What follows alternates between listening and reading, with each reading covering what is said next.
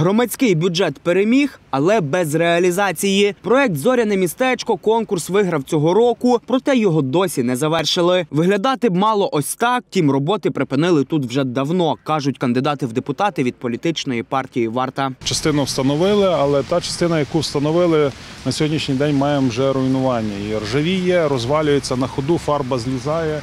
Є елементи, які поржавіли зверху. Тобто, це е, хтось хоче швидко заробити гроші і не переживає, що буде з тим зоряним містечком, з тими, з тими елементами за рік-два. Необлаштований і скейт-майданчик. Тут залили лише бетонну основу. Творили видимість роботи під приїзд міського голови і забули.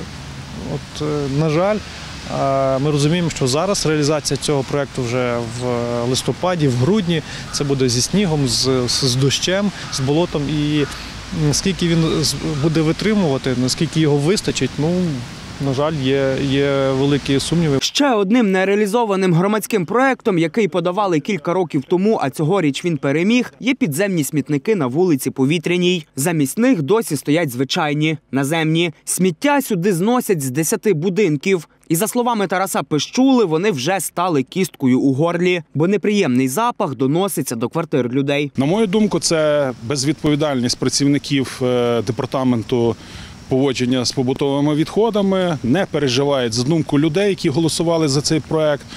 На їхньому місці е, вони би мали це влаштувати весною, літом, але не чекати такої погоди, як сьогодні, а скоро будуть сніги, і ну це буде неправильно. Нагадати треба те чиновникам, що 150 тисяч голосів було віддано за проекти громадського бюджету. Ініціатива, яку я свій час теж був одним з ініціаторів, вона працює. Ми бачимо у Львові дуже багато е, таким чином зреалізованих проєктів. Не довели до пуття і цей громадський проект, хоча мали завершити ще у вересні. Роботи тут залишилось небагато, втім і її закинули. На сьогоднішній день ні там, ні тут не закінчено.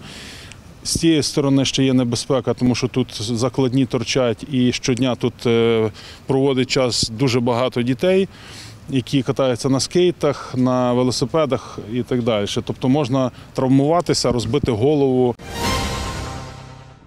Динамічно, концентровано та цікаво. Дивіться правду наживо у будні о 19.00 на телеканалі НТА. З нами не прогавити найважливішого.